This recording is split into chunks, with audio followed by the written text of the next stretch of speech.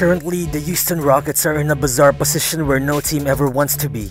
Well, yeah, James Harden is one of the best offensive weapons that this league has ever seen, there's no question about that.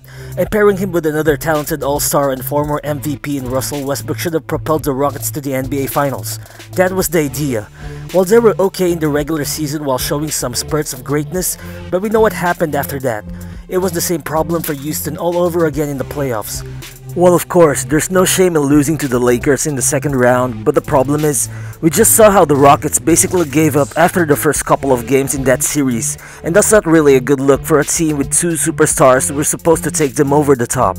And so here we are. Russ has already requested a trade from the Rockets just a few weeks after the team lost Mike D'Antoni and general manager Daryl Morey.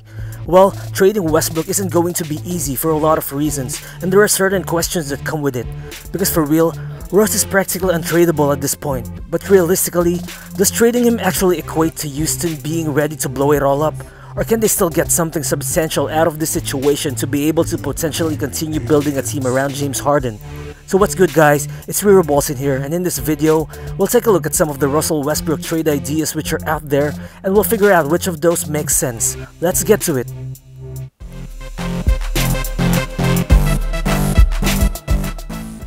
Always convenient to argue that James Harden isn't an ideal star to be teammates with solely based on his playing style, and you can always blame him for Houston coming up short in the playoffs year after year. But was pairing Russ with James Harden even the right move to do by Daryl Morey?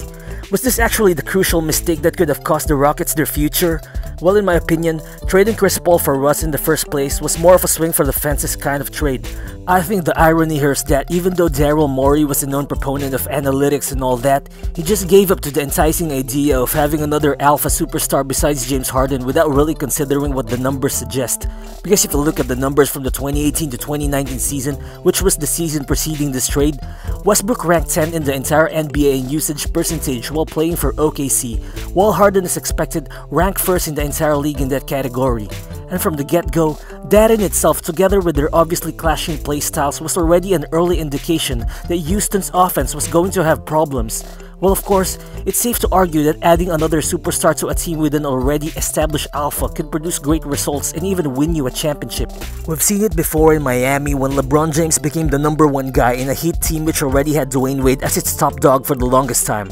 But the obvious difference with that team and this Houston Rockets team is that Dwyane Wade knew from the get-go that he had to play number 2 to LeBron no matter what, or at least he needed to sacrifice a little bit by complementing LeBron's playstyle for them to win a chip. Well, obviously, this wasn't gonna happen for the Rockets because neither one of Russ or Harden was able to adjust to an offense which would accommodate two ball-dominant playmakers. And this is also part of the reason why we hear Westbrook demanding a trade for him to be able to play more like how he did in Oklahoma City, which was of course as the sole offensive initiator who constantly had the ball in his hands. But if you look at it, it's not going to be easy trading the Brodie's contract. Well, no disrespect to Russ, he's actually my favorite point guard and he's still a star, but for real, Russ just might be the most untradeable superstar in the NBA so far for a lot of reasons. Well, for one, the guy still has 132.6 million left in his contract over the next three seasons.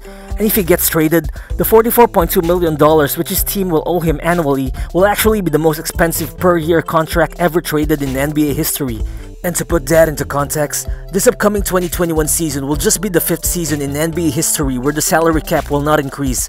But the thing is, Westbrook's contract includes 8% annual increases, and this makes his contract situation less than ideal for the majority of teams as of the moment. This is not only because of Westbrook's not so good reputation, but also because of the cash crunch that teams are experiencing due to the pandemic. So you get the point. Trading for Westbrook's huge contract won't help a lot of teams at all. And one more thing, if you're going to look into the NBA trade market for guards, there are realistically a lot more options which teams would rather trade for such as guys like Chris Paul, Kyle Lowry, Jrue Holiday, Mike Conley, DeMar DeRozan or Victor Oladipo. And that itself gives very limited room for the Rockets to work with in terms of securing a trade partner for Westbrook. Well, ideally, Russ wants to be traded to a winning team where he can play the same way as when he was the main floor general with the Thunder. But if you look at it, most of the contending teams already have their established point guard set in place. Well, you can make a case for Miami trading for him, but doing such will just ruin their cap flexibility and that would just prevent them from pursuing Giannis in 2021. There's also some suggestions that the Lakers should trade for him.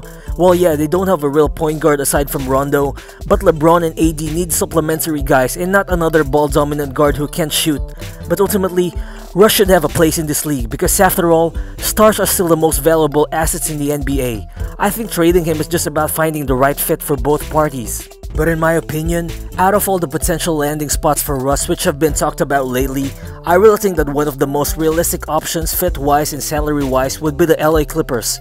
Of course, a lot of people would call this trade ridiculous, stating that this would just cause a potential problem with the Clippers offense. But hear me out. I think this actually could work both ways in my opinion.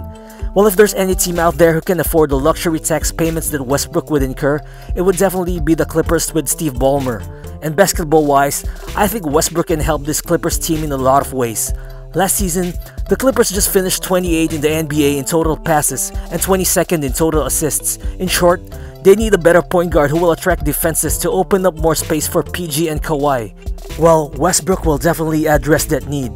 Yeah, I think if the Clippers are going to trade for Russ, then it shouldn't be PG that they would have to trade for him. Because I think for the Clippers, having Russ would only work if both PG and Kawhi are still on the team.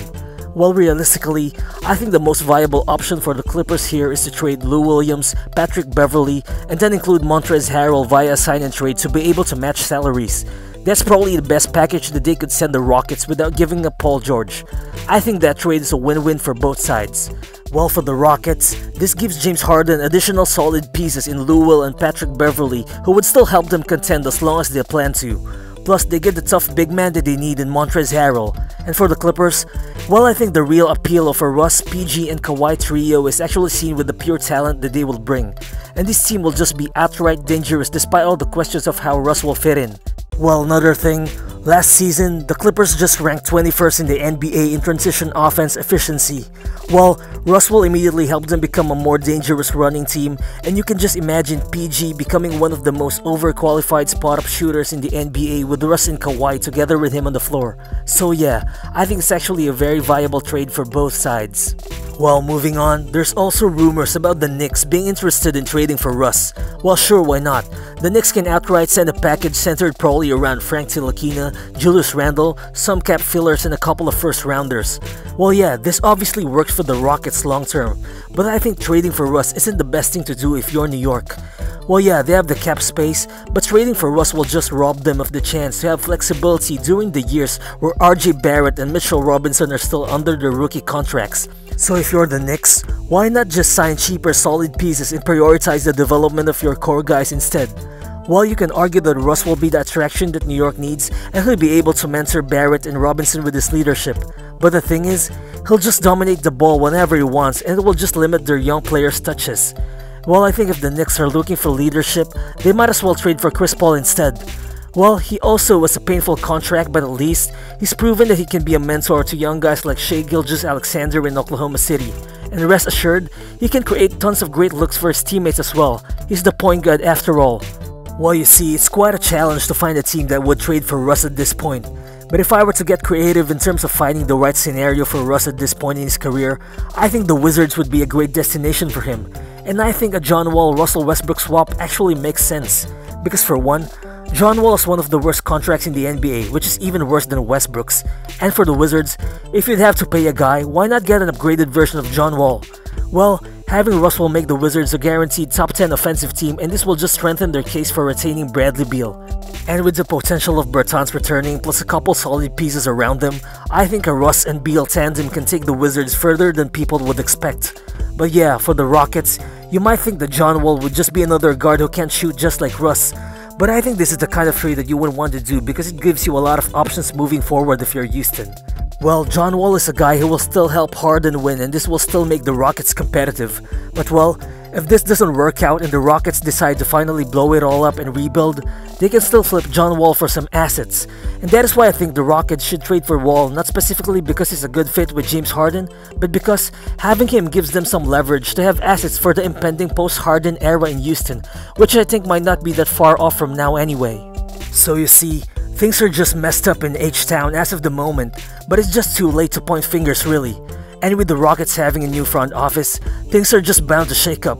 Well, no matter how difficult it may be, Russell Westbrook getting traded is inevitable. But honestly, this trade just might be the tipping point.